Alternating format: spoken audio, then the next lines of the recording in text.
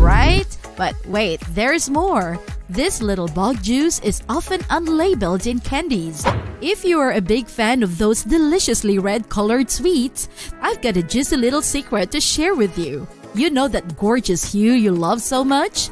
Yeah, it turns out that it's made from squished up bug guts.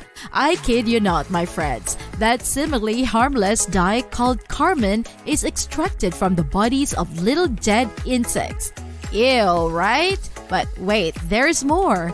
This little bug juice is often unlabeled in candies, including the infamous natural red 4, which comes from cacti in South Africa, Mexico, and the southwestern United States.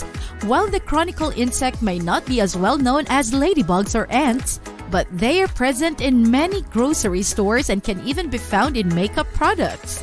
Who knew cacti had anything to do with candy, am I right? So if you're still craving those red colored candies after hearing this, well, I guess you're a true bug lover at heart. No judgment here, but maybe think twice before taking a big ol' bite next time, okay?